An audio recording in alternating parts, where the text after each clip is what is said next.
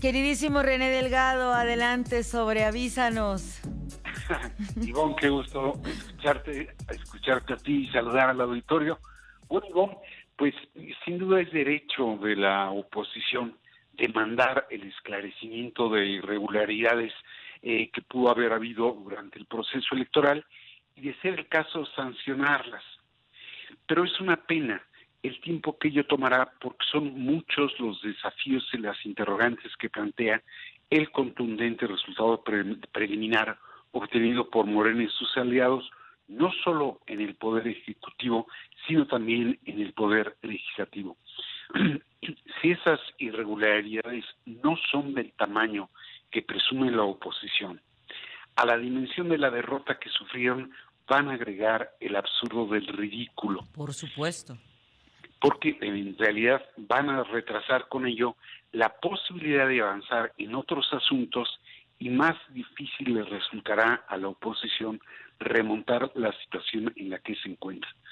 Por lo pronto, digo, tú ya lo, lo anunciabas, el cómputo distrital de los votos se inició ayer y habrá de culminar el sábado, aunque se tiene hasta el domingo, y el recuento de los sufragios emitidos en más de 115 mil casillas, que es la cifra que tú dabas hace unos minutos, en 115 mil casillas de las 170 mil instaladas, esto es más del 67% del total, ojalá se aclaren las supuestas inconsistencias que acusa la candidata de la alianza opositora Xochitl Gálvez, así como las dirigencias de Acción Nacional y del Revolucionario Institucional. Aclaraciones, Ivonne, que por la distancia entre el primer y el segundo lugar en la competencia por la presidencia y por el número de asientos obtenidos en el Congreso de la Unión por las dos coaliciones, probablemente no van a mover los números de manera sustancial, muchísimo menos van a revertir el resultado. Y entonces, bueno, se diluirá, eh, se diluirá eh, eh, parte de la del sentido de la impugnación. Pero en el reclamo formulado por Xochitl Galvez, y los partidos que respaldaron sus candidaturas, hay varios datos curiosos, por no decir reveladores. Uno, Xochitl pidió el auxilio ciudadano para que se tomen fotografías del, eh, del cártel que se pega fuera de las casillas con el resultado que hubo en esa, en esa mesa y lo compare con el resultado preliminar anunciado por el Instituto Nacional Electoral. Esa solicitud revela una realidad incontrovertible. Los partidos que ampararon su candidatura no hicieron su tarea. Esto es, carecieron de representantes partidistas en las casillas para vigilar cuanto ahí ocurría y en tal virtud carecen de evidencia para respaldar lo que acusan.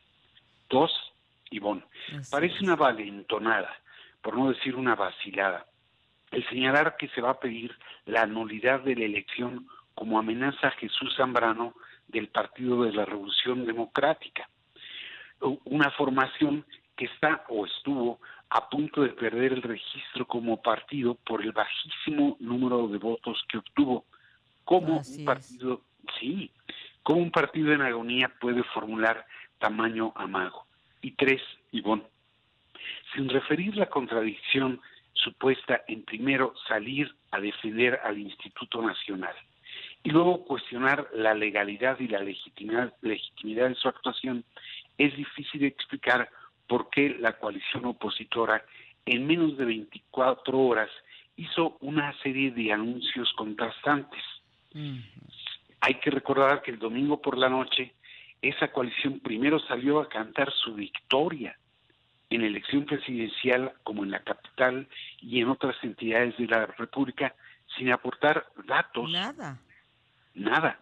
Y luego, poco después de la medianoche, tanto Xochitl Gálvez y Santiago Taboada, en un acto de gallardía, salieron a reconocer su derrota. Pero 12 horas después, Xochitl se declaró en resistencia anunciando la impugnación del proceso. Digo, ahí hay una contradicción difícil de explicar. En todo caso, el derecho eh, asiste a Xochitl, a Xochitl Galvez y a la coalición para reclamar la revisión del proceso y, como decía, en su caso sancionar las irregularidades e incluso solicitar la nulidad. Sin embargo, ojalá las acusaciones que ahora se formulan tengan sustento, porque de no ser así, solo van a retrasar la posibilidad de entrar de lleno a los desafíos y las interrogantes que plantea el contumaz resultado favorable que obtuvo Claudia Sheinbaum. Entonces, de pronto yo creo que hay que poder mm, repetir un poquito la película para entender ciertas eh, contradicciones que se están dando, Ivonne.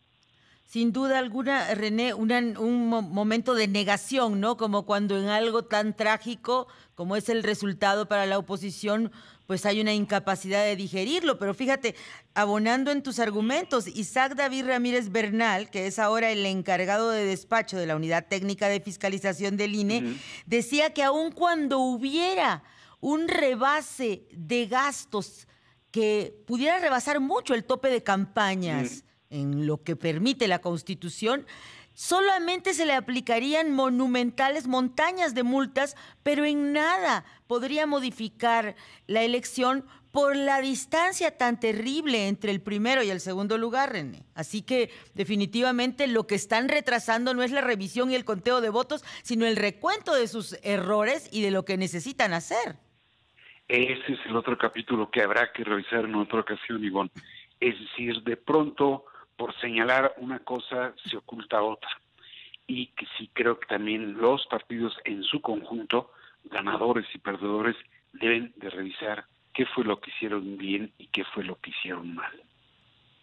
Pero vamos a ver. Y además tienen en puerta eh, el relevo de sus eh, eh, pues dirigencias y tendrían que pesar estos diagnósticos, estos exámenes de qué pasó para el perfil que mejor pueda enderezar lo que queda de partidos opositores, René? Mira, estás tocando un punto central. Hoy por la tarde viene el Consejo Político del PRI. Así es. con el orden del día, la elección no está entre los asuntos que van a debatir. la ceguera frente al elefante, que es ahora sí un rebaño de elefantes, diría Rubén Darío. Gracias por estar con nosotros, queridísimo René. Me da gusto saludarte. Igualmente, abrazos. Bye.